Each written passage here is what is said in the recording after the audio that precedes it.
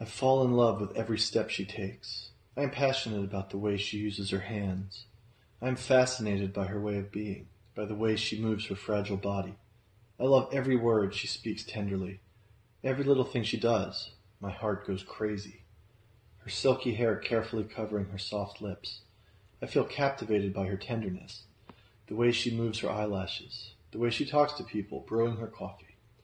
Her gesture to put her foot on top of the other at the table, and the safety behind the smile, makes me really want her. Her firm body makes me ask to be together. Her blonde, loving hair, her big brown eyes, makes me want to invite her to dance. I wish I could sing a serenade to her, feeling her fingers playing with my hair, but she is my friend's lover, and he would never forgive me if I was steal. But she is like a magnet. You remain fascinated when she comes around.